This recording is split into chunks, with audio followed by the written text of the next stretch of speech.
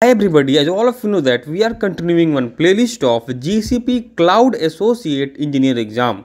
And what we do in our playlist is first we discuss the topic. So today's topic is Google App Engine. After that we solve previous year questions asked on these topics and after completing the playlist at the last we'll do a practical which will combine all the concepts that we have read till now. So basic agenda of playlist is to help you to clear this exam with minimal effort and minimal time. So guys before this we have already published 6 videos before this so I request all of you to watch all those parts before this and then continue this video. So guys before we move ahead please like this video subscribe the channel for getting more updates regarding this. So guys before this video we have already discussed about Google Compute Engine in details. But guys there were some problems associated with Google Compute Engine. So that's why Google came up with new concept that is Google App Engine. So first let's discuss about the problems with Google Compute Engine. So guys, Google Compute Engine was infrastructure as service. What it means is they will give you everything like a storage, network, virtual machines, everything. But you have to choose by yourself. You have to configure by yourself. While I was explaining Google Compute Engine, you might have observed that you were asked to select the machine type, you were asked to select the boot disk and you have to configure load balancing also in order to scale up and down your application. It means that let's say you have created one VM instance for you but after some time you realize that this VM instance is not suitable for you.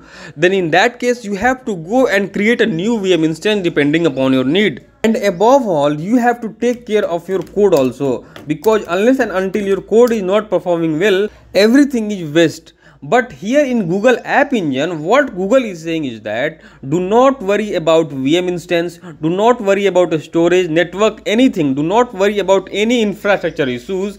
Just take care of your code. Give us the code and then we will deploy your code according to suitable VM instances. But now you might be thinking that then how billing is decided? They may give us a high priced VM instance, they may give us a high priced storage, but depending upon your request depending upon the load that you are getting from your customers google app engine will give you suitable vm suitable storage and network to you so it is platform as a service so google compute engine was infrastructure as a service but google app engine is platform as a service so i hope you get the difference between google compute engine and google app engine now let's deep dive in Google App Engine. So if you go to the Google App Engine, then they have given you two ways through which you can deploy your application. So the first way is a standard environment and the second one is flexible environment. So in a standard environment, they have given built-in support for some languages like Java, Go, Python, Node.js, but not for C++. Please remember this point that they have not given support for C++. So what happens is that let's say you have written a code in a particular language but what was happening in Google Compute Engine was that you have to install the libraries of Java, Go and Python on your VM instance before running your code. But here in standard environment they have given built-in support already you have to just mention your version. Like on this version like on this java version your code has been written. And they will install the required java version mentioned in your code. Also guys you are not required to take care of any infrastructure related problems that i have already discussed. And also a standard will take less time to start. And it is very cheap as compared to flexible. And it can scale down to zero also. I will talk about scaling in standard and flexible in upcoming slides for the time being, just remember that you can scale down to 0 in case of a standard app engine. Now let's go to the flexible app engine. Now let's say you want to run your application inside Docker containers. Also, there are some languages for which built-in support is not provided in the standard. So in that case, you should go for flexible. But when you go for flexible, its price is a bit higher. Also, it does not scale down to zero. Minimum one instance will always be running. So that's why it is bit costlier than a standard environment. Let's talk about scaling that I have told just now. So guys, there are three types of scaling provided by Google App Engine. The first one is manual, second one is basic and the last one is automatic. Let's say you have deployed your application on Google App Engine and you told that you need manual scaling. So in that case, you have to observe the pattern of your load.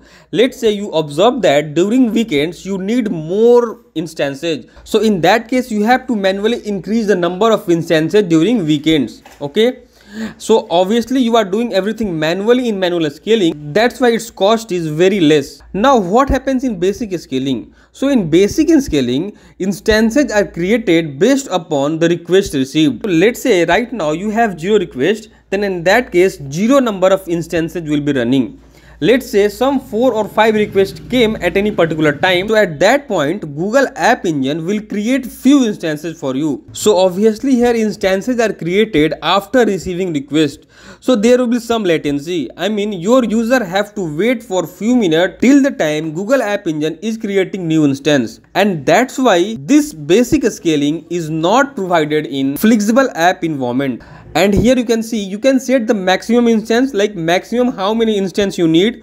Obviously here minimum instance is zero because new instances are created after receiving the request. So here there is no concept of minimum instance but there is concept of ideal timeout. I mean after receiving the request for how many time you want your application to wait to get your instance ready by google app engine. Now if you go to the automatic scaling so in automatic scaling everything will be automatic depending upon your load. But only thing that you have to say or provide information to google app engine that how many minimum number of instances you want. Let's say you want minimum number of instances be 2 and maximum number of instances be 10 so Google will accordingly adjust like at any point of time your minimum number of instances will be 2 and maximum number of instances will be 10. Now let's go to the important point that is traffic splitting. We have already discussed this point in Google Compute Engine. So here we have the concept of versioning.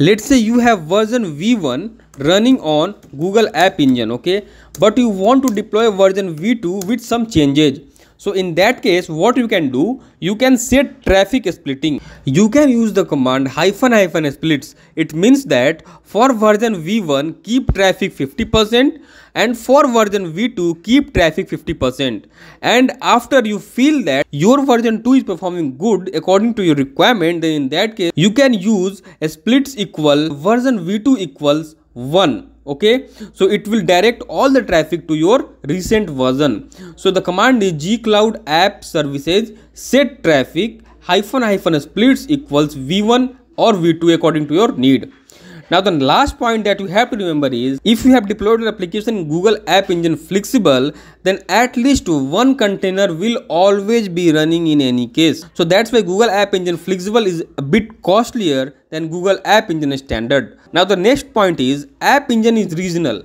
So let's say you have created one app engine in one region, let's say Asia. Now you feel that you need to change this region to Europe. You can't do that app engine in regional once you have created one app engine in particular region and you want to change the region you can't do that. You have to create new app engine in that new region.